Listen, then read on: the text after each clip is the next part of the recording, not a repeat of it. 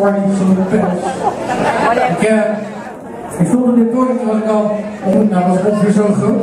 Het kan ook zo klein geweest, maar zeker niet klein. En ook niet groot. En, uh, dus, dus het is heel leuk om hier vanavond dit weer met jullie te delen. Zo met deze tent aan zo willen leven nog een keer terug. Ik ben erbij joh. Leuk om vanavond te delen. Een paar huishoudelijke mededelingen. Do whatever the fuck you want to do.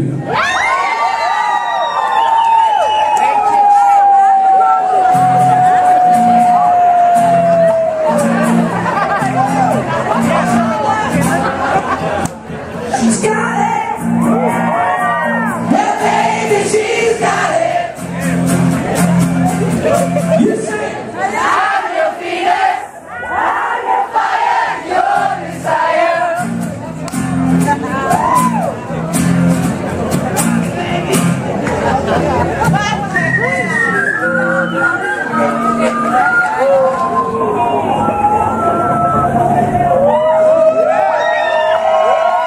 His ears